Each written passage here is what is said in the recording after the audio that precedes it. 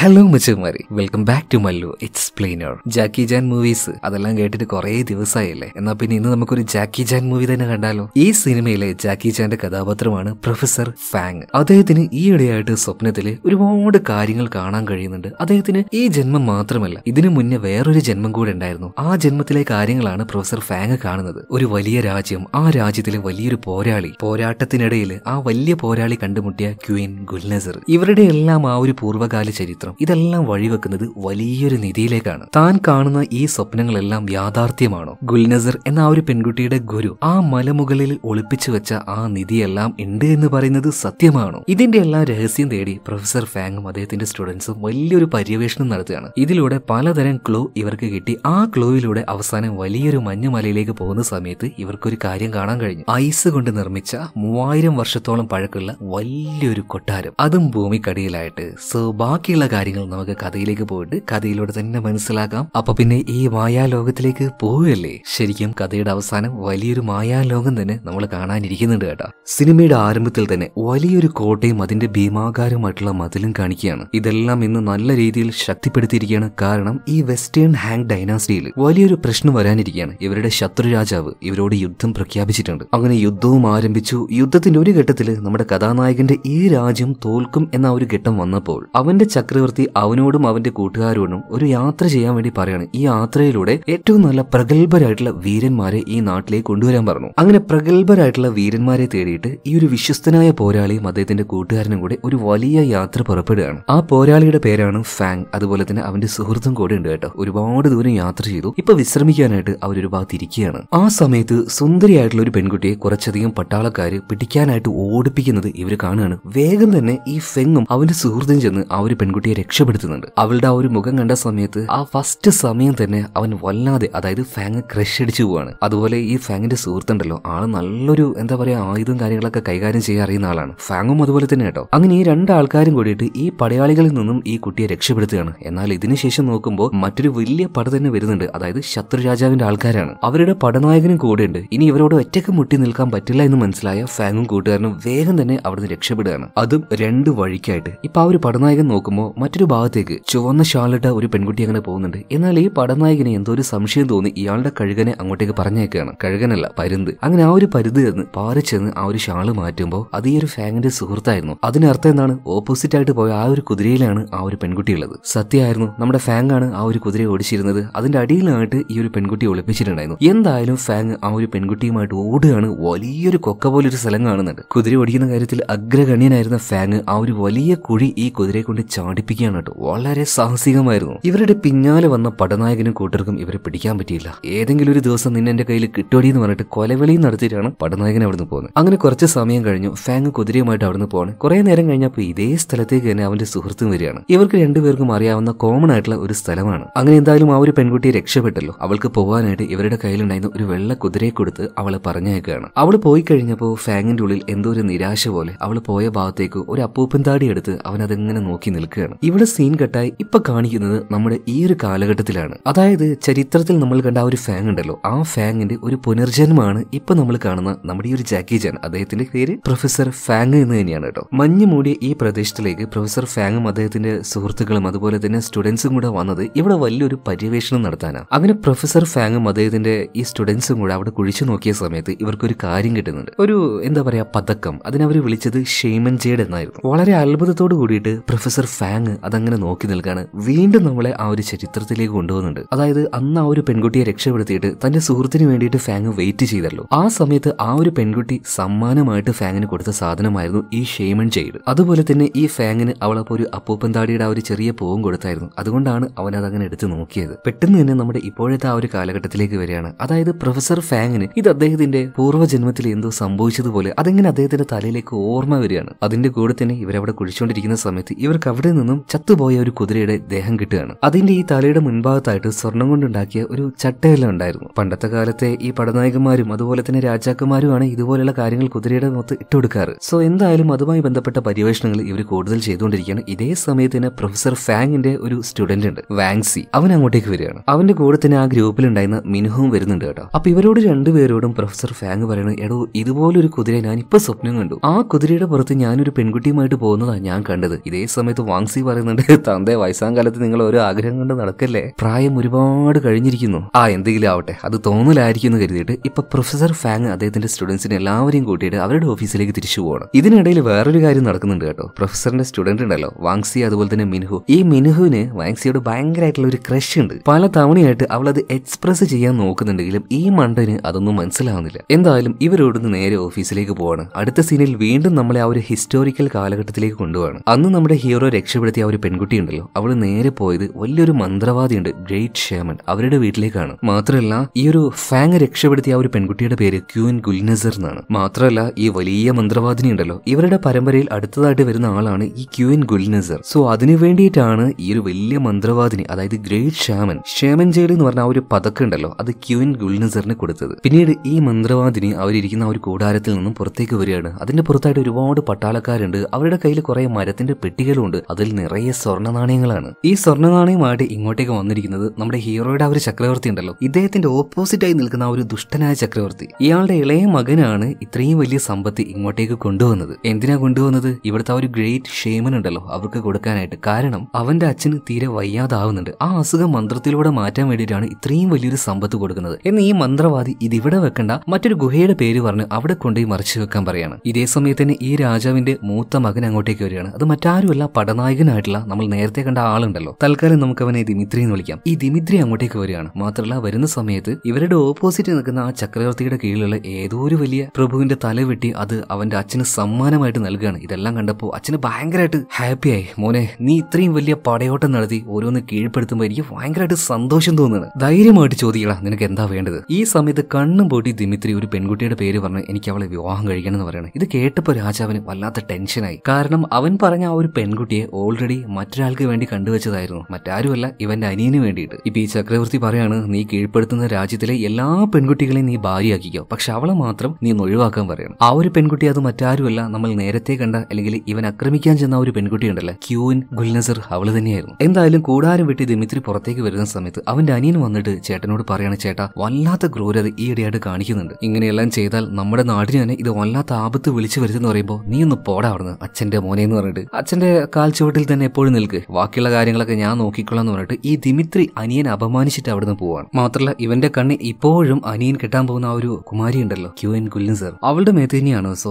രഹസ്യമായിട്ട് അവളെ നിരീക്ഷിക്കുന്നുണ്ട്. ആ സമയത്താണ് ഒരു കാര്യം മനസ്സിലായത്. ഈ ഗുൽനസറിന്റെ അച്ഛൻ മരിക്കാൻ കാരണം ഈ ഒരു ദിമിത്രിയുടെ അച്ഛനാണ്. സോ അവളുടെ അമ്മയോട് പറഞ്ഞിട്ട് ആ രാത്രിയിൽ തന്നെ ഈ രാജാവിനെ കൊല്ലാനായിട്ട് അവൾ രഹസ്യമായിട്ട് അങ്ങോട്ടേക്ക് വരികയാണ്. ഈ കാര്യം ദിമിത്രി കാണുന്നുണ്ട്. അവളുടെ പിറകാലെ രാജാവിന്റെ ആ ഒരു ടെന്റിലേക്ക് ചെല്ലുകയാണ്. ഇതേ സമയത്ത് തന്നെ രാജാവിന്റെ ടെന്റിലേക്ക് ഗുൽനസർ വന്ന സമയത്ത് മകൻ വിവാഹം കഴിക്കാൻ പോകുന്ന ആളല്ലേ? മോളെ വന്ന് ഇരിക്കുന്നൊക്കെ പറയാണ്. എന്നാൽ അവളുടെ കയ്യിൽ കത്തി കണ്ട രാജാവിന് കാര്യം മനസ്സിലായി. പെട്ടെന്ന് തന്നെ അവളെ തടുക്കുകയാണ്. അതേ നിമിഷം തന്നെ അങ്ങോട്ടേക്ക് ദിമിത്രിയും വരുന്നുണ്ട്. ഇപ്പൊ ഈ ഒരു ഗുൽനസറിനെ അവൻ തള്ളിയിടുകയാണ്. പെട്ടെന്ന് തന്നെ അവൾ അവിടുന്ന് രക്ഷപ്പെട്ടു പോകുന്നുണ്ട്. ഇതേ സമയത്താണ് അങ്ങോട്ടേക്ക് ഇവന്റെ അനിയൻ വരുന്നത്. എന്താ? എന്താ ഇവിടെ സംഭവിക്കുന്നതെന്ന് ചോദിക്കുമ്പോൾ ഒന്നും നോക്കാതെ കയ്യിലുണ്ടായിരുന്ന കത്തിയെടുത്ത് സ്വന്തം അനിയനെ അവൻ അവിടുന്ന് കുത്തി കൊന്നുകളയാണ്. ഇതിനുശേഷം അച്ഛനെയും കൊന്നുകളയാണ്. രാജ്യം മുഴുവൻ കീഴടക്കിയിട്ട് രാജ്യത്തിന് വേണ്ടി എല്ലാം ചെയ്യുന്നത് ഞാൻ എന്നിട്ടോ? നിങ്ങൾക്ക് ഇഷ്ടവും സ്നേഹവും എല്ലാം കൊടുക്കുന്നതും ഇളയ മകന്. എന്തായാലും രണ്ടുപേരെയും അവിടെ വെച്ച് ദിമിത്രി കൊല്ലുകയാണ്. ഇത് അതുപോലെ തന്നെ നമ്മുടെ ക്യൂൻ ഗുൽനസറിന്റെ തലയിൽ ഇടാൻ വേണ്ടിയിട്ട്. ഇതിനുശേഷം വീണ്ടും ഇപ്പോഴത്തെ കാലഘട്ടത്തിൽ കാണുകയാണ് നമ്മുടെ പ്രൊഫസർ ഫാങ് അതുപോലെ തന്നെ വാങ്സി ഇവരെല്ലാവരും ഒരു മീറ്റിംഗിന് പോവാണ്. അങ്ങോട്ടേക്ക് ഇവരെ കാണാനായിട്ട് ഒരു വലിയ വീഡിയോ ഗെയിം ഡെവലപ്പിംഗ് കമ്പനി ഉണ്ട് അതിന്റെ ആ ഒരു ഓണർ ഇവരെ കാണാൻ വന്നിട്ടുണ്ട്. തൽക്കാലം നമുക്ക് അയാളെ ഡെവലപ്പർ എന്ന് വിളിക്കാം. നമ്മുടെ ഒരു പ്രൊഫസർ ഫാങ്ങും അദ്ദേഹത്തിന്റെ സ്റ്റുഡൻസും കൂടെ ഗവേഷണത്തിലൂടെ കണ്ടുപിടിക്കുന്ന ഓരോ കാര്യങ്ങൾ ഇതെല്ലാം ബേസ് ചെയ്ത് ഒരു കഥ ഉണ്ടാക്കിയിട്ട് ആ കഥയിലൂടെ ഒരു ഗെയിമാണ് ഇയാൾ ഡെവലപ്പ് ചെയ്തുകൊണ്ടിരിക്കുന്നത്. മാത്രമല്ല ഇതൊരു ചെറിയ പാർട്ടിയായിട്ട് നടത്തുകയാണ്. അങ്ങോട്ടേക്ക് ഇപ്പോൾ നല്ല അടിപൊളി വസ്ത്രം ധരിച്ച് കുറച്ച് പെൺകുട്ടികൾ വന്നിട്ട് ഡാൻസ് കളിക്കുന്നുണ്ട്. ആ കൂട്ടത്തിൽ പ്രൊഫസറിന്റെ സ്റ്റുഡന്റിൽ ഒരാളായിട്ടുള്ള മിൻഹു ഉണ്ട് കേട്ടോ. മിൻഹു ഇപ്പൊ ഡാൻസ് കളിക്കാനായിട്ട് ഇങ്ങോട്ടേക്ക് വന്നത് തന്നെ വാങ്സിയെ ഒന്ന് ഇംപ്രസ് ചെയ്യാനാണ് വിചാരിച്ചതുപോലെ തന്നെ അവളെ കണ്ട പാട് വാങ്സി വല്ലാതൊരു ഇംപ്രഷൻ ഒരു ക്രഷ് അടിക്കുന്നുണ്ട്. എന്നാൽ അതേ സമയം തന്നെ അവനൊന്ന് മയങ്ങിപ്പോവാണ് ആ മയക്കത്തിലൂടെ പ്രൊഫസർ ഫാങ് എന്താണോ കാണുന്നത് അതുപോലെയുള്ള സ്വപ്നം അവൻ കാണുകയാണ്. അതായത് ആ ഹിസ്റ്റോറിക്കൽ കാലഘട്ടത്തിൽ ഫാങ് എന്ന ഒരു യോദ്ധാവിന് ഒരു കൂട്ടുകാരൻ ഉണ്ടായിരുന്നല്ലോ. ആ കൂട്ടുകാരൻ മറ്റാരുമല്ല അതിന്റെ പുനർജന്മം തന്നെയാണ് ഈ വാങ്സി. സോ ഈ ഫാങ്ങും വാങ്സിയും കൂടിയിട്ട് അവരങ്ങനെ പടയാളികളുമായിട്ട് അവരുടെ നാട്ടിലൂടെ നടക്കുന്ന സമയത്ത് വല്ലാത്ത രീതിയിൽ അഭ്യാസവും കാര്യങ്ങളും കളിക്കുന്ന ഒരു പെൺകുട്ടിയെ കാണാണ്. അത് മറ്റാരുമല്ല നമ്മുടെ ക്യൂൻ ഗുൽനസർ തന്നെ. അവളെ കണ്ട പാടേനെ ഇവർക്ക് രണ്ടു പേർക്കും അവളോട് വല്ലാത്ത രീതിയിൽ ക്രഷ് അടിക്കുന്നുണ്ട് കേട്ടോ. അപ്പൊ എന്തിനാ ഇവിടെ നിൽക്കുന്നതെന്നൊക്കെ അവർ ചോദിക്കുമ്പോൾ അവളുടെ അമ്മ ഇങ്ങോട്ടേക്ക് വരാന്ന് പറഞ്ഞിട്ടുണ്ട്. പക്ഷെ ഇത്രയും നേരമായിട്ട് വന്നിട്ടില്ല. അതുകൊണ്ടാണ് കാത്തു നിൽക്കുന്നത്. ഇതേ നേരം തന്നെ അവളുടെ ആ ഒരു ടീച്ചറായിട്ടുള്ള മന്ത്രവാദിനി അതായത് ആ ഒരു ഗ്രേറ്റ് ഷേമൻ അങ്ങോട്ടേക്ക് വന്നിട്ട് പറയാണ് നിന്റെ അമ്മയെ ആ ഒരു ദിമിത്രി പിടിച്ചു വെച്ചിരിക്കുകയാണ്. എത്രയും വേഗം അങ്ങോട്ടേക്ക് ചെന്നിട്ടില്ലെങ്കിൽ അവരെ കൊന്നുകളയും എന്നാ പറഞ്ഞത്. ആ ഒരു മെസ്സേജ് കൊടുത്തുകൊണ്ട് ഗ്രേറ്റ് ഷാമൻ രാമൻ അവിടെ നിന്ന് പോവാണ് ഇതിനുശേഷം പിന്നീട് എന്ത് സംഭവിച്ചെന്ന് കാണുന്നില്ല. പെട്ടെന്ന് തന്നെ ആ ഉറക്കത്തിലേക്ക് പോയ നമ്മുടെ വാങ്സി എഴുന്നേൽക്കുകയാണ്. ഇപ്പൊ വാങ്സിയെ നോക്കിയിട്ട് പ്രൊഫസർ ഫാങ് പറയുന്നത് എടാ നിന്നൊക്കെ എന്തിനു കൊള്ളാം? നിന്നെ ഇംപ്രസ് ചെയ്യാനാ അവൾ ഇവിടെ വന്ന് ഡാൻസിന് കളിച്ചത്. എന്നിട്ട് പോത്ത് പോലെ കിടന്ന് ഇറങ്ങിക്കണം ഏ അങ്ങനെയാണോ? അയ്യോ അബദ്ധം പറ്റിയെന്ന് പറഞ്ഞിട്ട് വേഗം തന്നെ വാങ്സി പോയിട്ട് മിനുഹുവിനോട് സംസാരിക്കാൻ നിൽക്കുകയാണ്. ഇപ്പൊ മിനുഹു പറയണ അത്രയും കഷ്ടപ്പെട്ട് കോസ്റ്റ്യൂമും ധരിച്ച് അവിടെ വന്ന് ഡാൻസ് കളിച്ച് നീ ഒന്നും മൈൻഡ് ആക്കിയോടാ നീ കിടന്ന് ഉറങ്ങുമായിരുന്നില്ലേ ആ അത് പിന്നെ അതാണ് ഇതാണെന്നൊക്കെ പറഞ്ഞിട്ട് തൽക്കാലം വാങ്സി ഒഴിഞ്ഞു മാറുകയാണ്. അങ്ങനെ പിറ്റേ ദിവസം ഇവരെല്ലാവരും ഇവർ പര്യവേഷണത്തിലൂടെ കണ്ടുപിടിച്ച ആ സാധനങ്ങളെല്ലാം വെച്ച് ആ ഒരു മ്യൂസിയത്തിലേക്ക് ചെല്ലുകയാണ്. അവിടെ ആ ഒരു വെള്ളക്കുതിരയുടെ രൂപം ഉണ്ടായിരുന്നു കറുത്ത കുതിരയുടെ രൂപം ഉണ്ടായിരുന്നു. ഇതെല്ലാം കാണുമ്പോൾ നമ്മുടെ ഫാങ്ങിനും വെറും ഫാങ് അല്ല പ്രൊഫസർ ഫാങ്ങിനും അതുപോലെ തന്നെ വാങ്സിക്കും അവരുടെ ആ ഒരു പൂർവകാലം ഓർമ്മ വരുന്നുണ്ട് കേട്ടോ. ആ കൂട്ടത്തിൽ തന്നെ കുറേയധികം പടയാളികൾ ഒരു പടയോട്ടം നടത്തുന്ന ഫോട്ടോ ഉണ്ടായിരുന്നു. ഇതിനെക്കുറിച്ച് ഈ പ്രൊഫസർ ഫാങ് പറഞ്ഞു കൊടുക്കുകയാണ്. ഇതിനുശേഷം വീണ്ടും ആ ഒരു ഹിസ്റ്റോറിക്കൽ കാലഘട്ടത്തിലേക്ക് നമ്മളെ കൊണ്ടുപോകണം അതായത് ആ ഒരു നല്ല ചക്രവർത്തി അതായത് ഹാങ് ഡൈനാസിയുടെ ചക്രവർത്തി അയാളുടെ കൂടെ പടയോട്ടം നടത്തിക്കൊണ്ടിരിക്കുകയാണ് ഇപ്പൊ നമ്മുടെ ഫാങ് അതുപോലെ തന്നെ വാങ്സി. രണ്ടുപേരും ഇതുപോലെ പറയുമ്പോൾ കൺഫ്യൂഷൻ ആവണ്ട. ഒരു കാര്യം നിങ്ങൾ ആലോചിച്ചാൽ മതി. ഇവർ രണ്ടുപേരും പൂർവജന്മത്തിലും അതുപോലെ തന്നെ പുനർജന്മത്തിലും ഒരുമിച്ചുണ്ടായിരുന്ന ആൾക്കാരാണ്. അത്ര ആലോചിച്ചാൽ മതി. എന്തായാലും ചക്രവർത്തിയുടെ കൂടെ വന്ന ഫാങ്ങും അതുപോലെ തന്നെ വാങ്സിയും ഒരു കാര്യം കണ്ട് ആകെ ഞെട്ടിപ്പോവാണ്. ഓപ്പോസിറ്റ് നാട്ടിലെ ആ ഒരു ചക്രവർത്തിയുടെ മകനുണ്ടല്ലോ ദിമിത്രി. അവരുടെ ആ ഒരു ഗ്രാമത്തെ മുഴുവനായിട്ട് അടിച്ച് നശിപ്പിച്ചിട്ടുണ്ട്. എല്ലാ ആൾക്കാരെയും കൊന്നു കളഞ്ഞു. സ്ത്രീകളെ മുഴുവൻ തട്ടിക്കൊണ്ടു പോയിട്ടുണ്ട്. ഇപ്പോൾ ഒരു കരച്ചിൽ കേട്ട് അവരവിടെ ഉണ്ടെങ്കിൽ ആ ഒരു ഷീറ്റ് മാറ്റി നോക്കുമ്പോൾ പ്രായമായിട്ടുള്ള ഒരു അമ്മൂമ്മ തന്റെ കൊച്ചുമകനെ പിടിച്ചുകൊണ്ട് കരഞ്ഞുകൊണ്ടിരിക്കുകയാണ്. ഇവിടെ നടന്ന കാര്യങ്ങളൊക്കെ പറയുന്നുണ്ട്. ഇത് കേട്ട് കോപം വന്ന ആ ഒരു ചക്രവർത്തി പറയാണ് ഇനി അവന്റെ കളി വെച്ച് നടത്താൻ പറ്റില്ല. രണ്ട് ഭാഗത്തു നിന്നും ആക്രമിച്ച് അവനെ ഇല്ലാതാകണമെന്ന് പറയാണ്. വേഗം തന്നെ ഇവരുടെ കൂടെ ഇപ്പോഴുള്ള ആ ഒരു പടയാളികളെയും കൂട്ടിയിട്ട്.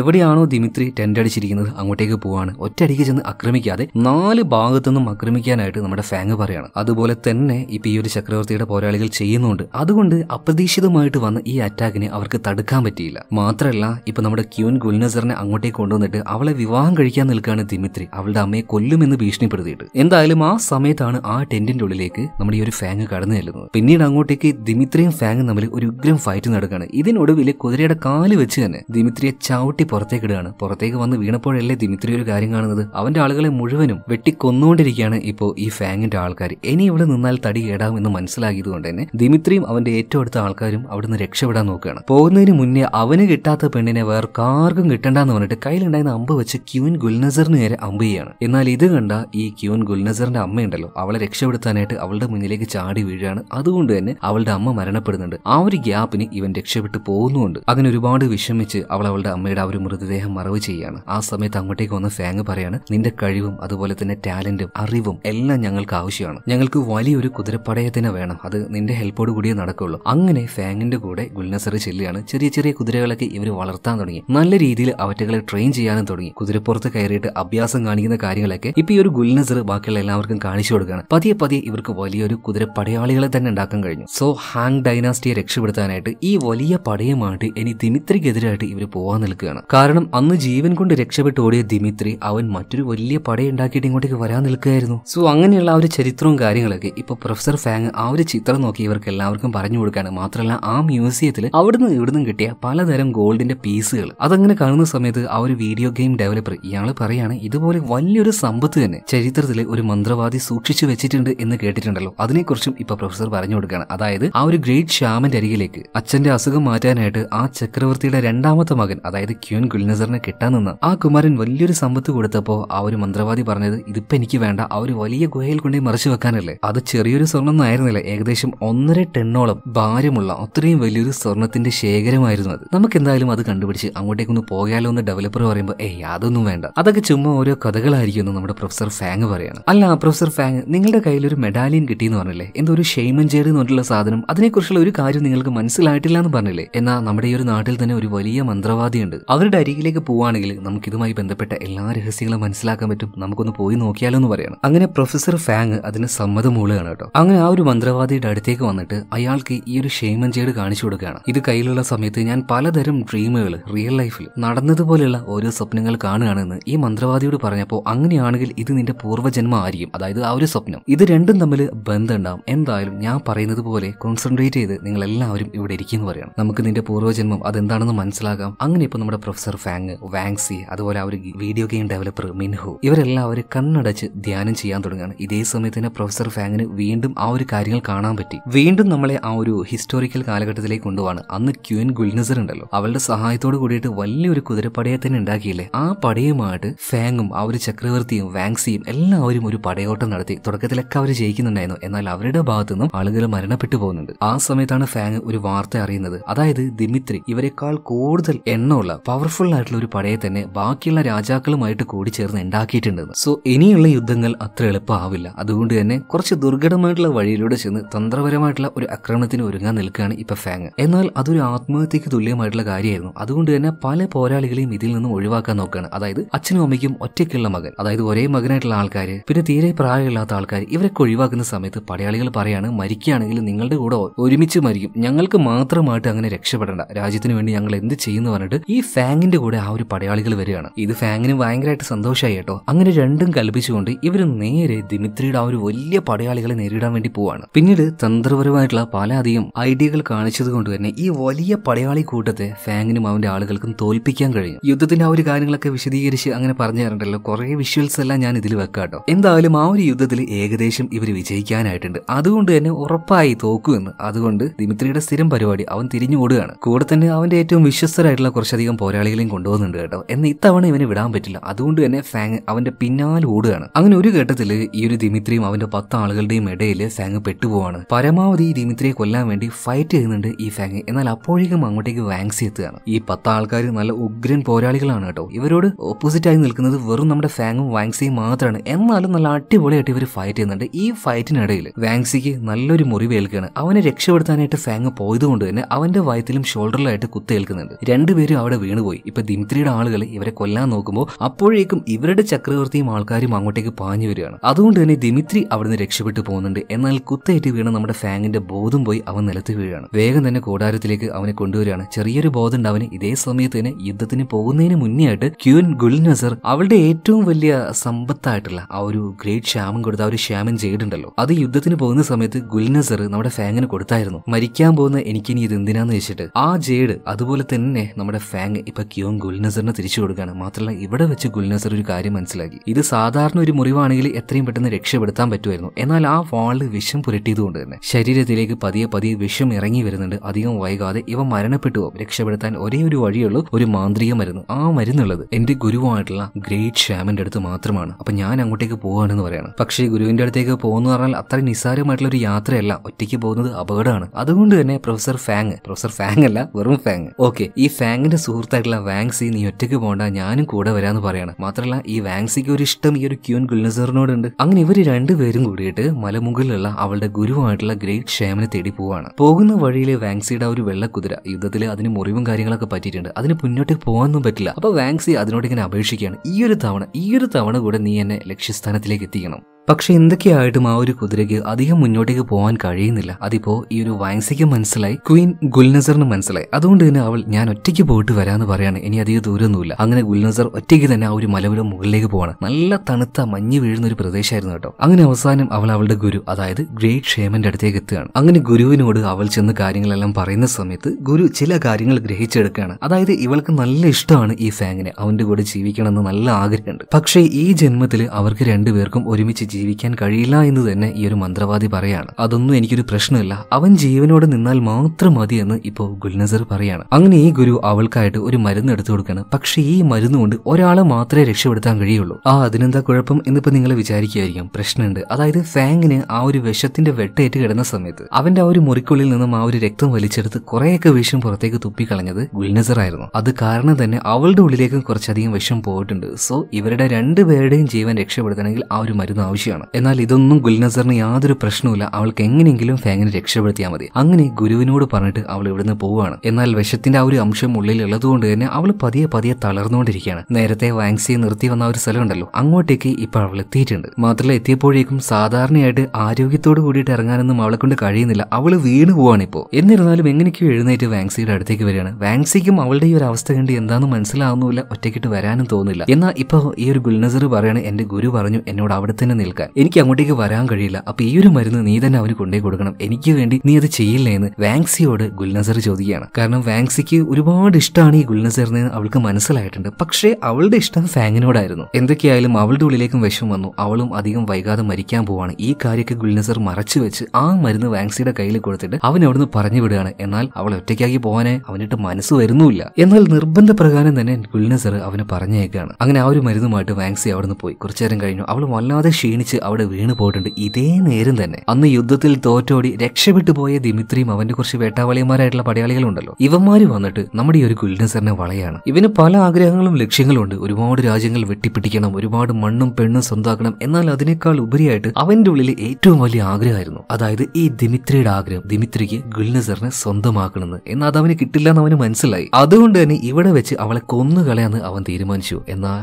ഗുൽനസർ അതങ്ങനെ നോക്കി നിൽക്കുക. അവളും ആയുധം ഉപയോഗിക്കുന്ന കാര്യത്തിൽ ഒരുപാട് പരിശീലനം കിട്ടിയ ആളാണ്. അതുകൊണ്ട് തന്നെ അവന്റെ മുന്നിൽ കീഴടങ്ങാതെ മരിക്കുന്നത് വരെ എന്തായാലും അവൾ മരണപ്പെടും. സോ മരണം മുന്നിൽ കണ്ട് തന്നെ ധൈര്യമായിട്ട് അവൾ പോരാടുകയാണ്. മാത്രമല്ല അവളുടെ ഉള്ളിൽ വലിയൊരു പകയുണ്ട്. അവൾ അമ്മയെ കൊന്നു കളഞ്ഞത് ഈ ദിമിത്രി ആണല്ലോ അന്ന് അമ്പ കൊന്നു കളഞ്ഞത് അപ്പൊ ആ ഒരു പകയും കൂടെ മനസ്സിൽ വെച്ച് അവൾ ശക്തമായിട്ട് ഫൈറ്റ് ചെയ്യാണ്. ദിമിത്രി ആദ്യം തന്നെ പോവാതെ അവന്റെ ആളുകളെയാ പറഞ്ഞു വിടുന്നത്. എന്നാൽ കയ്യിലുണ്ടായിരുന്ന ആ ഒരു നീണ്ട വാൾ ഉപയോഗിച്ചുകൊണ്ട് എല്ലാത്തിന്റെ കഴുത്തറുത്ത് വിടുകയാണ് ഗുൽനസർ. ഇതിനുശേഷം അവസാനം ഗുൽനസറും ദിമിത്രിയും നേർക്ക് നേരെ പോരാടുകയാണ്. ഇന്നേ വരെ പഠിച്ച എല്ലാ വിദ്യയും നന്നായിട്ട് തന്നെ ഗുൽനസർ ഉപയോഗിക്കുന്നുണ്ട്. ദിമിത്രി അവളുടെ മുന്നിൽ ഒന്ന് അടിപതിരി പോകുന്നുണ്ട് കേട്ടോ. എന്നിരുന്നാലും ദിമിത്രിയുടെ വാൾ അവളുടെ നെഞ്ചിലേക്ക് കയറുകയാണ്. വയറ്റിലേക്ക് വിഷം പോയതിന്റെ വേദന അതുപോലെ നെഞ്ചിൽ വാൾ കയറിയതിന്റെ വേദന എല്ലാം കൂടിയായിട്ട് അവൾ ഇവിടെ തീർന്നു എന്ന് വിചാരിക്കുന്ന സമയത്ത് എല്ലാ എനർജിയും വീണ്ടും അവൾ വീണ്ടെടുത്ത് ഫൈറ്റ് ചെയ്യാൻ തുടങ്ങുകയാണ്. ഇതിനിടയിൽ അവളുടെ വാൾ മുകളിലേക്ക് തെറിച്ചു പോകുന്നുണ്ട്. ആയുധം നഷ്ടമായി. ഇനി അവളെ എളുപ്പത്തിൽ കഴുത്ത് വെട്ടി കൊന്നു കളയാം എന്ന് വിചാരിച്ച ദിമിത്രിക്ക് തെറ്റിപ്പോയി. മുകളിലേക്ക് തെറിച്ചു പോയ വാൾ വീണ്ടും അവളുടെ കയ്യിലേക്ക് വരികയാണ്. ഇതേ സമയം ജയിച്ചു എന്ന് കരുതി നിൽക്കുന്ന ദിമിത്രി അവനൊട്ടും പ്രതീക്ഷിക്കാത്ത അവന്റെ കഴുത്തിലൂടെ ആ വാൾ പാഞ്ഞു പോവാണ്. അവന്റെ കഴുത്തിന്റെ പകുതിയോളം മുറിഞ്ഞു പോവാണ്. സ്പോട്ടിൽ തന്നെ പിന്നിലേക്ക് നിലമ്പത്തി വീണു. അതിന്റെ കൂടെ തന്നെ അധികം വൈകാതെ നമ്മുടെ ഗുൽനസറും മരണപ്പെട്ടു പോവാണ്. ഇതേ സമയത്ത് തന്നെ ഗുൽനസർ കൊടുത്ത ആ ഒരു മരുന്നുമായിട്ട് വാങ്സി അവരുടെ ആ ഒരു പാളയത്തിലേക്ക് ഭയങ്കരമായിട്ട് വേഗത്തിൽ ഗുൽനസറിന്റെ ആ ഒരു കുതിരയുമായിട്ട് പൊക്കോണ്ടിരിക്കുകയാണ് കാരണം വാങ്സിയുടെ കുതിര ഓൾറെഡി മരിച്ചു കഴിഞ്ഞു. എന്നാൽ ഈ പോകുന്ന സമയത്ത് തണുപ്പ് അത് കഠിനമായിരുന്നു. അതുകൊണ്ട് തന്നെ കുതിരയ്ക്കും നമ്മുടെ വാങ്സിക്കും ഇത് താങ്ങാൻ കഴിയുന്നില്ല. ഒരു ഘട്ടത്തിൽ ഒരു അപകടം സംഭവിച്ച് അവന്റെ കുതിര തന്നെ വലിയൊരു താഴ്വരയിലേക്ക് വീണ് മരിച്ചു പോവാണ്. ഇതിനുശേഷം കഠിനമായ ആ ഒരു തണുപ്പിലൂടെ മരുന്നുമായിട്ട് അവൻ നടന്നു പോവാണ് കേട്ടോ. അവന്റെ ശരീരത്തിന് ആ തണുപ്പ് വല്ലാതെ എഫക്ട് ചെയ്യുന്നുണ്ട്. അത് താങ്ങാൻ കഴിയാതെ അവൻ വീണ് പോകുന്നുണ്ടെങ്കിലും തന്റെ കൂട്ടുകാരനെ രക്ഷപ്പെടുത്തണം ആ ഒരു ആഗ്രഹം മനസ്സിലുള്ളത് കൊണ്ട് തന്നെ ആ മരുന്നുമായിട്ട് അവൻ എങ്ങനെയൊക്കെയോ വേച്ച് വേച്ച് ആ രാത്രി മുഴുവൻ നടക്കുകയാണ്. അങ്ങനെ പിറ്റേ ദിവസം രാവിലെ ആയപ്പോൾ ഇവരെല്ലാം ടെന്റ് അടിച്ച് നിൽക്കുന്ന ആ ഒരു സ്ഥലത്തേക്ക് എത്തിയിട്ടുണ്ട്. കുറെ അകലെയായിട്ട് അവനത് കാണുകയാണ്. എങ്ങനെയൊക്കെയോ കൈ പൊക്കി അവിടെയുള്ള പടയാളികളെ കാണിച്ചു. അപ്പൊ തന്നെ വാങ്സി അവിടെ വീണ് പോകുന്നുണ്ട്. ഓടി വന്ന പടയാളികൾ അവന്റെ കയ്യിലുണ്ടായിരുന്ന ആ ഒരു മരുന്നെടുത്ത് ടെന്റിന്റെ ഭാഗത്തേക്ക് ഓടുന്നുണ്ട്. എന്നാൽ ഇവർക്ക് അറിയില്ല വാങ്സിയും മരണത്തിന് കീഴടങ്ങിക്കൊണ്ടിരിക്കുകയാണെന്ന്. എന്തായാലും മരുന്ന് കിട്ടിയ ഫാങ് അവനത് കുടിച്ചു. അവന്റെ ഉള്ളിൽ ആ ഒരു വിഷം മുഴുവൻ പോയി. എന്നാൽ വന്ന് നോക്കുമ്പോൾ അവൻ ഏറ്റവും കൂടുതൽ സ്നേഹിച്ച എപ്പോഴും അവന്റെ കൂടെ ഉണ്ടായിരുന്ന ഉറ്റ ചങ്ങാതി വാങ്സി അവന് വേണ്ടി സ്വന്തം ജീവൻ കളഞ്ഞിരിക്കുകയാണ്. അവന്റെ ആ ഒരു ബോഡി ഇപ്പൊ അവരെടുത്തു കൊണ്ടുവരുന്നുണ്ട് ഇതെല്ലാം നോക്കി അലറി കരയാൻ മാത്രമേ ഫാങ്ങിന് കഴിഞ്ഞുള്ളൂ. ഈ കാര്യമെല്ലാം ഇവരുടെ പൂർവജന്മത്തിൽ സംഭവിച്ച കാര്യങ്ങളെല്ലാം പ്രൊഫസർ ഫാങ്ങും അദ്ദേഹത്തിന്റെ സ്റ്റുഡന്റ് ആയിട്ടുള്ള വാങ്സിയും കാണുകയാണ് കാരണം ഇവർ രണ്ടുപേരുടെയും കഥയാണത്. ഓക്കെ അത് മനസ്സിലാക്കിയ സമയത്ത് രണ്ടുപേരുടെ കണ്ണിൽ നിന്നും കണ്ണുനീർ ഒഴുകുകയാണ് കേട്ടോ. എന്തായാലും ആ ഒരു കഥയിൽ നിന്നും അല്ലെങ്കിൽ ആ ഒരു സ്വപ്നത്തിൽ നിന്നും അവർ പുറത്തേക്ക് വരികയാണ്. ഇതിന്റെ പുറമെ ഇവിടെ വന്ന ആ ഒരു ചോദ്യം ഗ്രേറ്റ് ഷ്യാമൻ അവർ ജീവിച്ചിരുന്ന ആ ഒരു മല ഏതാണെന്ന് ഈ കഥയിലൂടെ ഇപ്പൊ ഇവർക്ക് മനസ്സിലായി. അല്ല ആ ഒരു ഗുരു അതായത് ആ ഒരു മന്ത്രവാദി താമസിച്ച ആ ഒരു മല അത് അറിയുന്നതിൽ ഇത്ര വലിയ കാര്യം എന്താ എന്ന് നിങ്ങൾ ചോദിക്കുകയാണെങ്കിൽ കുറച്ച് പിന്നിലേക്ക് നമ്മൾ പോകണം ഒരു കാര്യം നിങ്ങൾക്ക് ഓർമ്മയുണ്ടോ? തന്റെ അച്ഛന്റെ അസുഖം മാറ്റാനായിട്ട് ആ ഒരു ദുഷ്ടനായ ചക്രവർത്തിയുടെ ഇളയ മകൻ വലിയൊരു സമ്പത്തി ഈ മന്ത്രവാദിക്ക് കൊണ്ടേ കൊടുത്തപ്പോ അവർ താമസിക്കുന്ന മലയിൽ ആ ഒരു ഗുഹയിൽ കൊണ്ടുവെക്കാൻ പറഞ്ഞല്ലോ. സോ ആ മല ഏതാണെന്നും ആ ഒരു ഗുഹ ഏതാണെന്നും ഇപ്പൊ ഈ സ്വപ്നത്തിലൂടെ ഇവർക്ക് മനസ്സിലായി. അതായത് ആ ഒരു മലയിലെ രഹസ്യ ഗുഹയിൽ നിക്ഷേപിച്ചിരിക്കുന്ന സ്വർണത്തിന്റെ അളവ് അത് ചെറുതൊന്നുമല്ല ഒന്നര ടെണ്ണോളം വരും. ഇത്രയും ഭാരമുള്ള ഒരു വലിയ സ്വർണത്തിന്റെ ശില്പവും അതിന്റെ കൂടെ തന്നെ വേറെയും വലിയ സ്വർണ നിക്ഷേപം ആ ഒരു മന്ത്രവാദിക്ക് വേണ്ടി അവരൊന്ന് കൊണ്ടേ കൊടുത്തായിരുന്നു. എന്തായാലും ഇപ്പൊ ആ ഒരു ഗുഹയിലേക്ക് പോവാന്ന് ഇവർ തീരുമാനിക്കുകയാണ്. പര്യവേഷണത്തിന്റെ ഭാഗമായിട്ട്. അത് കണ്ടുകിട്ടിയാൽ ഗവൺമെന്റിലേക്ക് തന്നെ കൊടുക്കാം എന്നുള്ളതായിരുന്നു പ്രൊഫസറുടെ പ്ലാൻ എന്തായാലും ആ ഒരു ലൊക്കേഷൻ ഇപ്പൊ മന്ത്രവാദി കൂടെ അങ്ങോട്ടും ഇങ്ങോട്ടും സംസാരിച്ച് കറക്റ്റ് ആ ഒരു ലൊക്കേഷൻ മനസ്സിലാക്കി അവരങ്ങോട്ടേക്ക് പോകാൻ നിൽക്കുകയാണ് കൂടെ ഈ മന്ത്രവാദിയുടെ രണ്ടു മൂന്ന് ആൾക്കാരെയും ഇവരുടെ കൂടെ അയക്കുന്നുണ്ട്. അങ്ങനെ ആ ഒരു മഞ്ഞ് പ്രദേശത്തിലൂടെ ഏകദേശം അഞ്ഞൂറ് കിലോമീറ്ററോളം യാത്ര ചെയ്ത് അവസാനം ഇവർ ആ ഒരു മലയിലും ആ മലയുടെ ഗുഹയുടെ മുഖത്തും എത്തുകയാണ്. അതിനുള്ളിലേക്ക് കയറി നോക്കുമ്പോൾ മുഴുവനായിട്ടും ഐസ് വെള്ള നിറത്തിലുള്ള ആ ഒരു ഐസ് പാളികളല്ലാതെ മറ്റൊന്നും ഇവർക്ക് കാണാൻ കഴിയുന്നില്ല. ഇത് കാണാൻ വേണ്ടിയിട്ടാണോ ഈ അഞ്ഞൂറ് കിലോമീറ്ററും സാഹസികമായിട്ടുള്ള യാത്രയും ചെയ്ത് ഇങ്ങോട്ടേക്ക് വന്നത് എന്ന് ഇവർ അങ്ങോട്ടും ഇങ്ങോട്ട് പറയുന്ന സമയത്ത് ഇവർ നിൽക്കുന്ന ആ ഒരു ഭാഗത്തെ ഐസ് പാളി പൊട്ടുകയാണ്. അതിന് വലിയ ബലമൊന്നും ഉണ്ടായിരുന്നില്ല. അങ്ങനെ ആ ഐസ് പാളി പൊട്ടി ഇവർ നേരെ താഴോട്ടേക്ക് പോവാണ്. കുറേ നേരം സ്ലൈഡ് ആയി പോകുന്നുണ്ട്. അങ്ങനെ കുറച്ച് കഴിഞ്ഞപ്പോൾ മറ്റൊരു ഹാളിലേക്ക് ഇവർ വന്ന് വീഴാണ്. ഐസ് പാളികൾക്കിടയിൽ അതായത് മഞ്ഞമലയുടെ ഉള്ളിലായിട്ട് മറ്റു വലിയൊരു സ്ഥലം. ആ സ്ഥലത്തേക്ക് ഇവർ വന്ന് നിന്നപ്പോൾ ഞെട്ടിപ്പോവാണ്. കാരണം അവിടെ കണ്ട കാഴ്ച അങ്ങനെയൊന്നായിരുന്നു. ഈ കഠിനമായ തണുപ്പിൽ ഉരുകാതെ നിൽക്കുന്ന ഐസ് ഉണ്ടല്ലോ ആ ഐസിൽ കൊത്തിയെടുത്ത വലിയൊരു കൊട്ടാരം. ആർക്കിയോളജിസ്റ്റ് ആയിട്ടുള്ള നമ്മുടെ പ്രൊഫസർ ഫാങ് നോക്കുന്ന സമയത്ത് ഈ ഒരു ക്ഷേത്രം അല്ലെങ്കിൽ ഈ ഒരു കൊട്ടാരം ഇവിടെ ഉണ്ടാക്കി വെച്ചിട്ട് ഏകദേശം മുപ്പതിനായിരം സോറി മൂവായിരത്തോളം വർഷങ്ങളായിട്ടുണ്ടെന്ന് പ്രൊഫസർ ഫാങ് പറയാണ്. അതുപോലെ തന്നെ അതിന്റെ ആ ഒരു കൊത്തുപണികളൊക്കെ അത്രയും അതിശയിപ്പിക്കുന്ന രീതിയിലായിരുന്നു. അങ്ങനെ വല്ലാത്ത അത്ഭുതത്തിൽ ഇവരങ്ങനെ നോക്കി നിൽക്കുമ്പോൾ അങ്ങോട്ടേക്ക് ഒരാൾ വരികയാണ്. അത് മറ്റാരുമല്ല ഇവർക്ക് ഈ കാര്യങ്ങളെല്ലാം പറഞ്ഞു കൊടുത്ത ഓർമ്മയിലേക്ക് കൂടുതലായിട്ട് ഇവരെ കൊണ്ടുപോയ ആ ഒരു മന്ത്രവാദി ഉണ്ടല്ലോ അയാൾ തന്നെ. ഞാൻ ആദ്യം കരുതിയത് ആ മന്ത്രവാദി ഒരു ലേഡി ആയിരിക്കുന്ന എന്നാൽ അതൊരു ലേഡിയൊന്നുമല്ല ഒരു പുരുഷൻ തന്നെയാണ്. ആ പുരുഷൻ മറ്റാരുമല്ല ചരിത്രത്തിൽ ഹിസ്റ്റോറിക്കൽ കാലഘട്ടത്തിൽ ഈ ഫാങ്ങും വാങ്സിയും ഒക്കെ ഉണ്ടായപ്പോൾ അവരുടെ ശത്രുവശത്ത് നിന്നിരുന്നു. ദുഷ്ടനായ ദിമിത്രി ഉണ്ടല്ലോ അവന്റെ പുനർജന്മമായിരുന്നു ആ ഒരു മന്ത്രവാദി. ഇവർക്കുണ്ടാവുന്നത് പോലുള്ള ആ ഒരു ഇലൂഷൻ സ്വപ്നങ്ങളെല്ലാം ഈ ഒരു ദിമിത്രിക്കും അതായത് ഈ കാലഘട്ടത്തിൽ ഇവനും വന്നു പോകുന്നുണ്ടായിരുന്നു. അതുകൊണ്ട് ഈ ദിമിത്രിക്ക് നേരത്തെ തന്നെ ഫാങ്ങിന് മനസ്സിലായിട്ടുണ്ട്. ഇപ്പൊ ഫാങ്ങിനോട് ചോദിക്കുകയാണ് എടോ എന്നെ മനസ്സിലായോ? ഞാൻ തന്നെയാടാ നിങ്ങളുടെ ആ ഒരു പഴയ കഥയിലെ വില്ലൻ തന്നെ. പക്ഷേ ദിമിത്രി ഇപ്പോൾ ഇവരെ ഇങ്ങോട്ടേക്ക് കൊണ്ടുവന്നതിന് ഒരേ ഒരു ലക്ഷ്യമേ അതായത് ഇവിടെ മൂടി വെച്ചിരിക്കുന്ന ആ ഒരു വലിയ സമ്പത്ത് അതെടുക്കുക അങ്ങനെ ഇവരുടെ കയ്യിലുണ്ടായിരുന്ന ആ ഒരു വലിയ ടെക്നോളജി മെഷീൻസ് ഇതെല്ലാം ഉപയോഗിച്ചുകൊണ്ട് സ്കാൻ ചെയ്ത് എവിടെയാണ് ആ ഒരു വലിയ നിധി എന്ന് മനസ്സിലായി. അപ്പൊ ആ ഒരു ഭാഗം ബോംബ് വെച്ച് തകർത്ത് അതിന്റെ ഉള്ളിലേക്ക് കയറാൻ നിൽക്കുകയാണ് ഇപ്പൊ ഈ ഒരു ദിമിത്രിയും അവന്റെ കൂട്ടരും കൂടെ. എന്നാൽ ഇത്രയും പുരാതനമായിട്ടുള്ള ഒരു കാര്യത്തെ നശിപ്പിക്കാനായിട്ട് പ്രൊഫസർ ഫാങ് സമ്മതിക്കുന്നില്ല. കാരണം എന്താ? എത്രയോ വർഷം മുന്നേ ഉണ്ടായിരുന്ന സിവിലൈസേഷന്റെ ഒരു അവശേഷിപ്പാണിത്. ഇതൊക്കെ അങ്ങനെ തകർത്ത് കളയാൻ പാടുണ്ടോ? എന്നാൽ ദേഷ്യം വന്ന ഈ ദിമിത്രി ആണെങ്കിൽ ഒരു ഗണ്ണെടുത്ത് മുകളിലേക്ക് ഒരു ഏറ്റ പൊട്ടിക്കലാണ്. എല്ലാവരും പേടിച്ചുപോയി. അധികം വൈകിയില്ല. അവിടെ ഒരു ബ്ലാസ്റ്റ് മെറ്റീരിയൽ വെച്ച് അവിടെ പൊട്ടിച്ചു കളഞ്ഞ് അതിനുള്ളിലേക്ക് ഇവർ കടക്കുമ്പോൾ അതിമനോഹരമായിട്ടുള്ള മറ്റൊരു ഹാളിലേക്ക് ഇവർ കടക്കുകയാണ്. സ്വർഗതുല്യമായിട്ടുള്ള കാഴ്ച. എന്ത് ബ്യൂട്ടിഫുൾ ആണെന്നറിയോ? ഐസിൽ കൊത്തിയെടുത്ത ഒരുപാട് ഭംഗിയുള്ള ശില്പങ്ങളും അതിന്റെ ആ ഒരു തൂണുകളും അതിനരികിലൂടെ ഒഴുകിക്കൊണ്ടിരിക്കുന്ന വെള്ളവും ശരിക്കും ഒരു സ്വർഗം പോലെയുള്ള ഒരു സ്ഥലം എന്ന് പറയാം. അവിടെ തന്നെ ഐസ് കൊണ്ടുണ്ടാക്കിയ വലിയൊരു പീഠത്തിന് മുകളിലാണ് ഒന്നര ടൺ വെയിറ്റ് ഉള്ള ആ ഒരു സ്വർണത്തിന്റെ ശില്പമുള്ളത്. അങ്ങനെ ഈ മായാ ലോകത്തിൽ ഇതിന്റെ കാഴ്ചകൾ കണ്ട് ഇവർ അമ്പരം അങ്ങനെ നടക്കുകയാണ് കേട്ടോ. എന്തായാലും എന്തൊരു ഭംഗിയാലേ ആ ഒരു സ്ഥലമൊക്കെ കാണാനായിട്ട്. അങ്ങോട്ടേക്ക് വന്ന പാട് തന്നെ ആ ഒരു എന്താ പറയാ മരം പോലൊരു സംഭവം ഉണ്ടാക്കി വെച്ചിട്ടുണ്ട്. ആ ഒരു പീഠം. അതിന്റെ മുകളിലാണ് ആ ഒരു ശില്പം ഉള്ളത് അതിന്റെ ആ ഒരു തൂണുകൾ മുഴുവൻ തകർത്ത് ഇത് എടുക്കാൻ വേണ്ടി ദിമിത്രി പറയണേ. എന്നാൽ നമ്മുടെ പ്രൊഫസർ ഫാങ് പറയണ ഒരിക്കലും ഇത് എടുക്കാൻ പാടില്ല. ഇതിങ്ങനെ ഉണ്ടാക്കി വെച്ചതിന് പിന്നിൽ വലിയൊരു ചരിത്രമുണ്ട്. മാനവരാശിയുടെ പ്രൊട്ടക്ഷന് വേണ്ടിയിട്ട് അന്നത്തെ കാലത്ത് മനുഷ്യർ ഉണ്ടാക്കി വെച്ച വലിയൊരു അവരുടെ വിശ്വാസമാണിത്. ഇതിനെ ഒറ്റയടിക്ക് നീ അങ്ങ് കൊണ്ടുപോകാൻ പാടില്ല. ഇത് ഗവൺമെന്റിന് അവകാശപ്പെട്ടതാണ്. മനുഷ്യരാശിക്ക് അവകാശപ്പെട്ടതാണ്. അല്ലാതെ ഒരാൾക്ക് മാത്രം പറ്റിയതല്ല ഇത്. കേട്ട ഭാവ ദിമിത്രി നടിക്കുന്നില്ല. ഇതേ സമയത്ത് തന്നെ ദിമിത്രി എന്ന ഈ മന്ത്രവാദിയിലേക്ക് ഇവർ എത്തിച്ചത് ആരാണ്? ഒരു ഗെയിം ഡെവലപ്പർ അല്ലേ? ഇയാൾ പറയാണ് ദിമിത്രി നീ പറഞ്ഞതുപോലെ നിങ്ങളുടെ അരികിലേക്ക് ഞാൻ ഇയാൾ എത്തിച്ചു. പക്ഷെ ഇനിയുള്ള കാര്യത്തിലൊന്നും ഞാൻ നിനക്ക് കൂട്ടു നിൽക്കില്ല. പ്രധാനമായിട്ടും ഇത് നീ സ്വന്തമായിട്ട് എടുക്കുന്ന കാര്യത്തിൽ എനിക്ക് അതിന് താല്പര്യമില്ല എന്ന് പറയണം. അതിന് നിന്റെ സമ്മതം ആർക്ക് വേണടാന്ന് പറഞ്ഞിട്ട്. ഇവരെ നാല് പേരെയും അവിടെ കെട്ടിയിടാൻ വേണ്ടി ദിമിത്രി പറയണം. എന്നാൽ ആ കൂട്ടത്തിൽ ഒരാളുണ്ടല്ലോ. ദിമിത്രി ചെയ്യുന്ന ഈ കാര്യങ്ങളിലൊന്നും യാതൊരു താല്പര്യമില്ലാത്ത ഒരാളായിരുന്നു. എന്ന് ഇയാൾക്ക് പറയാൻ പേടിയായിരുന്നു. അതുകൊണ്ട് തന്നെ വലിയ ഒച്ചപ്പാടും ബഹളമായിട്ട് ഈ നാല് പേരെയും കെട്ടിയിടുന്നത് ഇവനാണ്. മാത്രമല്ല ഇവർക്ക് രക്ഷപ്പെടാനായിട്ട് ഇവരുടെ കയ്യിൽ എന്തോ ഒരു സാധനം വെച്ച് കൊടുക്കുന്നുണ്ട്. പിന്നീട് ദിമിത്രിയുടെ ആളുകൾ വന്നിട്ട് ആ പീഠത്തിന്റെ താഴെയായിട്ട് നാല് വലിയ ഐസ് തൂണുകളുണ്ട്. ഇത് പൊട്ടിച്ചാൽ മാത്രമേ ആ ഒരു ശില്പം കിട്ടുള്ളൂ അവിടെ മുഴുവനായിട്ടും ഇവർ സ്കാൻ ചെയ്ത് നോക്കുമ്പോൾ ആ കൂട്ടത്തിൽ ഒരാൾ പറയണ സാറേ ഇതിനടിയിൽ വേറെ എന്തൊക്കെയോ ഉണ്ട്. ഇപ്പൊ ദിമിത്രി പറയണ ആദ്യം നമുക്ക് ഇതെടുക്കാം. എന്നിട്ട് അതിലേക്ക് പോവാന്ന് പറയണം. ഇതേ സമയത്ത് തന്നെ നമ്മുടെ പിള്ളേരാണെങ്കിലോ എങ്ങനെയെങ്കിലും ഇവിടെ ഈ ഒരു ബ്ലാസ്റ്റ് നടത്തുന്നതിന് ഇവനെ തടുക്കണം. ഒരിക്കലും ആ ഒരു ശില്പം അവന് കിട്ടാനേ പാടില്ല. അങ്ങനെ ഇവരുടെ കയ്യിൽ ഈ ഒരു എന്താ പറയുക ദിമിത്രിയുടെ കൂട്ടത്തിൽ തന്നെ ഒരുത്തിനുണ്ടായിരുന്ന ഒരു കത്തി കൊടുത്തായിരുന്നല്ലോ. അത് ഉപയോഗിച്ച് എങ്ങനെയൊക്കെയോ നമ്മുടെ പ്രൊഫസർ ഫാങ് ആ ഒരു കെട്ടഴിക്കുകയാണ് പെട്ടെന്ന് തന്നെ ഇവർ ആക്രമിക്കുന്നുണ്ട് അതായത് അവരുടെ ബേക്കിൽ നിന്ന ആളെ ഇയാളുടെ കയ്യിലുള്ള ഗണ്ണ് മേടിച്ച് തിരിച്ച് ഈ ദിമിത്രിക്കും ഇയാളുടെ ആൾക്കാരുടെയും നേരെ ഫയർ ചെയ്യാണ്. ഈ ഒരു ഗ്യാപ്പിന് എങ്ങനെയെങ്കിലും ഗെയിം ഡെവലപ്പറോടും അതുപോലെ തന്നെ നമ്മുടെ ഈ ഒരു വാങ്സി മിൻഹു ഇവരോട് രക്ഷപ്പെട്ട് ഇവർ ഇതിന്റെ ഉള്ളിലേക്ക് കടന്ന ഒരു ആ ഹോൾ ഉണ്ടല്ലോ ആ ഹോളിലൂടെ പുറത്തേക്ക് കടക്കാൻ വേണ്ടി പറയുന്നുണ്ട്. ഈ സമയത്ത് നമ്മുടെ ഈ ഒരു പ്രൊഫസർ ഫാങ് ആണെങ്കിൽ കയ്യിലുണ്ടായിരുന്ന ഗണ്ണ് വെച്ച് ദിമിത്രിയുടെ ആളുകളെ ഫയർ ചെയ്ത് അവരെ പരമാവധി അതിൽ നിന്ന് പിന്തിരിപ്പിക്കാൻ നോക്കുകയാണ്. എന്നാൽ ആ ഒരു ഹോളിലൂടെ ഇപ്പൊ നമ്മുടെ ഈ ഒരു മിൻഹു അതുപോലെ തന്നെ ആ ഒരു ഡെവലപ്പർ മാത്രം പോവാണ് നിങ്ങൾ പോയിക്കോ ഞാൻ പിന്നെ വരാന്ന് പറയാണ്. ഇപ്പൊ മിൻഹു നീയും കൂടെ വാ. നിനക്ക് നീ പറ്റിയിട്ടുണ്ടെങ്കിൽ എനിക്ക് സഹിക്കാൻ പറ്റില്ല എന്ന് പറയുമ്പോൾ ഇപ്പൊ വാങ്സി അവന്റെ കയ്യിലുണ്ടായിരുന്ന ഇവർ കെട്ടാൻ ഉപയോഗിച്ച ആ ഒരു പ്ലാസ്റ്റിക്കിന്റെ കയറുണ്ടല്ലോ. ഇത് അവർക്ക് എടുത്തു കൊടുത്തിട്ട് പറയാണ് ആ എന്റെ ഓർമ്മയ്ക്കായിട്ട് നീ ഇത് വെച്ചോ. ഉറപ്പായിട്ടും ഞാൻ തിരിച്ചു വന്നിട്ടുണ്ടെങ്കിൽ ഞാൻ നിനക്കുള്ളതായിരിക്കും. ഇത് പറഞ്ഞപ്പോ പെട്ടെന്ന് അവൾ ഷോക്കായി പോണ്. ഏ ഉറപ്പാണോ? നീ എന്നെ കല്യാണം കഴിക്കുവോ? ആടി വേണേ നീ എന്തായാലും ഇയാളെയും കൂടിയിട്ട് അവിടെ നിന്ന് പോകുന്നു പറയണേ. ഇതിനിടയിൽ ഈ ഡെവലപ്പർക്കിട്ട് ഒരു വെടിയും കൊള്ളുന്നുണ്ട്. എങ്ങനെയൊക്കെ ഒരു വേച്ച് വെച്ച് ആ ഒരു ഹോളിലൂടെ പുറത്തേക്ക് കിടക്കുകയാണ് ഇതേ സമയത്ത് നമ്മുടെ പ്രൊഫസർ ഫാങ്ങിന്റെ പിന്നിൽ വന്നിട്ട് വാങ്സി നിൽക്കുക ഇത് കണ്ടപ്പോ പ്രൊഫസർ ചോദിക്കണം അല്ലടാ നീ എന്താ പോയില്ലേ? ഇല്ല പ്രൊഫസറെ നമ്മൾ രണ്ടുപേരും പാർട്ട്നേഴ്സ് അല്ലേ? എനിക്ക് കുറച്ച് പ്രായം കുറഞ്ഞു പോയി. നിങ്ങൾക്ക് കുറച്ച് കൂടി പോയി. അത്ര വ്യത്യാസമേ ഉള്ളൂ എന്തായാലും നമുക്ക് ഒരുമിച്ച് നിന്ന് അവനെ നേരിടാന്ന് പറഞ്ഞിട്ട് കയ്യിലുണ്ടായിരുന്ന ഗണ്ണ് വെച്ച് തിരിച്ച് ഫയർ ചെയ്യാണ്. അതുപോലെ തന്നെ ദിമിത്രിയുടെ ആൾക്കാരും. ഐസിന്റെ തൂണുകളിൽ പെട്ട് ആ ഒരു ബുള്ളറ്റ് തറക്കുന്നതുകൊണ്ട് തന്നെ തൽക്കാലം ഇവർക്ക് രക്ഷപ്പെടാൻ കഴിയുന്നുണ്ട്. എന്നാൽ നിർഭാഗ്യവശാൽ ഇവരുടെ കയ്യിലുള്ള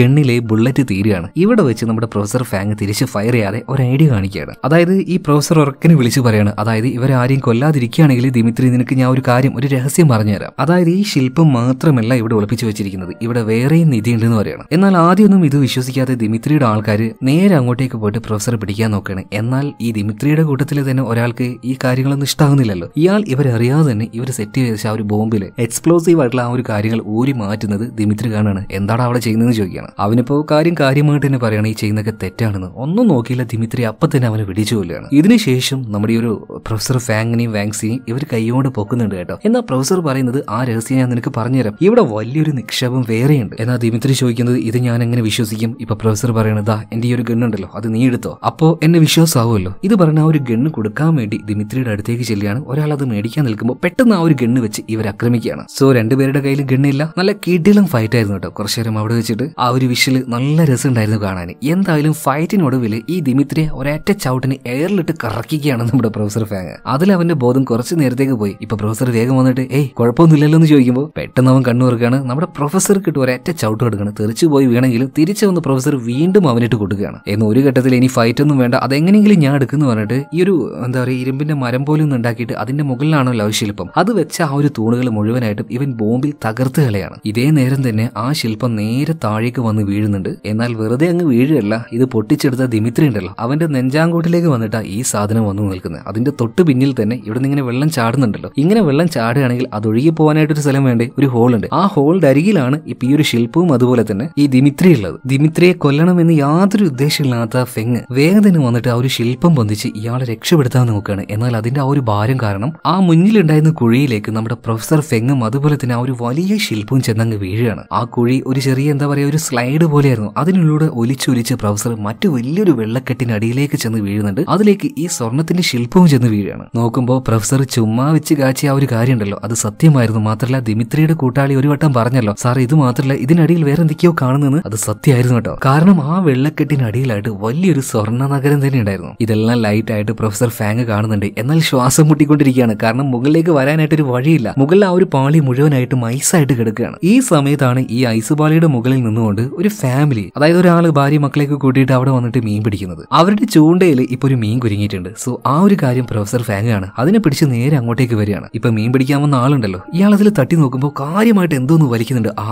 വലിയ മീൻ തന്നെയാന്ന് കരുതിയിട്ട് ഇയാൾ ആഞ്ഞ് വലിച്ചുകൊണ്ടിരിക്കുകയാണ്. പിന്നീട് ആ ഒരു ഹോളിലൂടെ നോക്കുമ്പോൾ ഒരാളുടെ മുഖം കാണാണ്ട് ബ്ല ബ്ല ബ്ലബ് ബ്ല ബ്ല ശ്വാസം കിട്ടാതെ നമ്മുടെ പ്രൊഫസർ ഫാങ് ആണെങ്കിൽ എങ്ങനെയെങ്കിലും എന്നെ രക്ഷപ്പെടുത്തട്ടോ എന്ന് പറയുന്നുണ്ട്. എന്നാൽ ഈ ഒരു മീൻ പിടിക്കാൻ വന്ന ആൾ ഇയാളുടെ ഫാമിലി ഇതെന്ത് കുന്താണ് ഇതിനടിയിൽ എങ്ങനെ ആൾ വന്നത്? ഇനിയിപ്പോ വല്ല മത്സ്യ കന്യകനായിരിക്കും എന്ന് കരുതിയിട്ട് ഇവരിങ്ങനെ അന്തം വിട്ട് നിൽക്കുമ്പോൾ ഇയാളുടെ മകൾ പറയണ എന്റെ പൊന്നച്ചാ മണ്ടത്തരം പറയല്ലേ അത് ഏതോ മനുഷ്യനാണ്. എങ്ങനെയോ പെട്ടുപോയതാ രക്ഷപ്പെടുത്തുന്നു പറയണം. അങ്ങനെ വേഗം തന്നെ ഐസ് മുറിക്കുന്ന ആ ഒരു വാൾ വെച്ചിട്ട് ഇവരെങ്ങനെയൊക്കെ അവിടെ ഒരു ഹോൾ ഉണ്ടാക്കിക്കൊണ്ടിരിക്കുകയാണ്. ഇതേ സമയത്ത് തന്നെ ആ ഗുഹയുടെ ഉള്ളിൽ നിന്നും എങ്ങനെയൊക്കെയോ നമ്മുടെ വാങ്സി അതുപോലെ മിനുഹു പിന്നെ ആ ഒരു ഗെയിം ഡെവലപ്പർ ഇവർ മൂന്നുപേരും രക്ഷപ്പെട്ട് പുറത്തേക്ക് വന്നിട്ടുണ്ട്. എന്നാൽ ബാക്കിയുള്ളവർ മുഴുവൻ അതിനുള്ളിൽ പെട്ടുപോയിട്ടുണ്ട്. ഇതേ നേരം തന്നെ പ്രൊഫസർ ഫാങ്ങിനെ എങ്ങനെയൊക്കെയോ അവർ ആ ഒരു വെള്ളത്തിനടിയിൽ നിന്നും പുറത്തേക്ക് എടുക്കുന്നുണ്ട്. പ്രൊഫസർ ഫാങ് ആണെങ്കിലോ ശ്വാസം കിട്ടാതെ തണുത്ത് വരച്ച് നിൽക്കുകയായിരുന്നു കേട്ടോ. എന്തായാലും കാര്യങ്ങളൊക്കെ ഓക്കെ ആയിട്ടുണ്ട്. അങ്ങനെ കുറച്ച് ദിവസങ്ങൾ കഴിഞ്ഞു. ഇവർക്ക് മനസ്സിലായ ആ ഒരു ചരിത്രം ഇവർ കണ്ട കാഴ്ചകൾ ഇതെല്ലാം വെച്ച് ഇവർ നന്നായിട്ടുള്ള ഒരു സ്റ്റോറിയും കാര്യങ്ങളൊക്കെ ഡെവലപ്പ് ചെയ്തിട്ടുണ്ട് കേട്ടോ. അത് വാങ്ങിക്കാനായിട്ട് ഒരുപാട് ആൾക്കാർ വന്നിട്ടുണ്ട്. എല്ലാവർക്കും ഭയങ്കര ഇഷ്ടമായി സോ പ്രൊഫസറെ കാണാനായിട്ട് ഒരു ലേഡി വരുന്നുണ്ട് കേട്ടോ. ആ ലേഡിയെ കാണാൻ ഏകദേശം ക്യൂൻ ഗുൽനസറിനെ പോലെ തന്നെ ഉണ്ടായിരുന്നു. അപ്പൊ അവർ വന്നിട്ട് ചോദിക്കാണ് അല്ല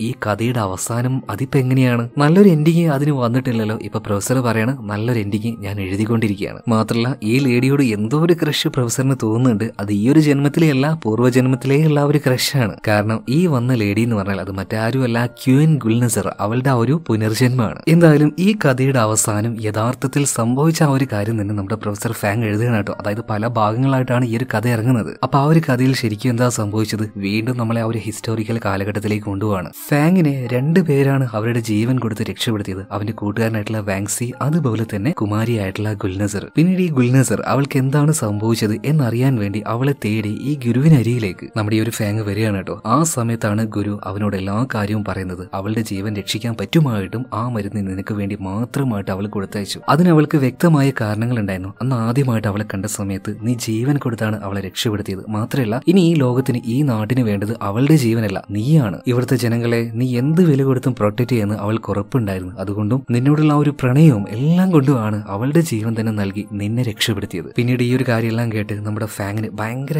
എന്താ പറയാ സങ്കടാവുകയാണ് അങ്ങനെ ആ ഒരു ഗുരുവിന്റെ സമ്മതത്തോട് കൂടിയിട്ട് അവളുടെ ആ ഒരു മൃതദേഹവുമായിട്ട് ഈ ധീരനായിട്ടുള്ള ഫാങ് അവിടുന്ന് പോവുകയാണ് അവന്റേതായ ആ ഒരു ലോകത്തിലേക്ക്. ഇത് തന്നെയാണ് നമ്മുടെ പ്രൊഫസർ ഫാങ് എഴുതിയ ആ ഒരു കഥയുടെ അവസാനവും. ഇത് കാണിച്ചുകൊണ്ട് സിനിമ ഇവിടെ തീരുന്നുണ്ട്. ഈ കഥ നിങ്ങൾക്ക് ഇഷ്ടമായോ ഇഷ്ടമായാൽ തീർച്ചയായിട്ടും നമ്മുടെ ഈ ഒരു വീഡിയോ ലൈക്ക് ചെയ്യുക ചാനൽ ഒന്ന് സബ്സ്ക്രൈബ് ചെയ്യുക. അപ്പോൾ അടുത്ത വീഡിയോയിൽ നമുക്ക് വീണ്ടും കാണാം. Okay bye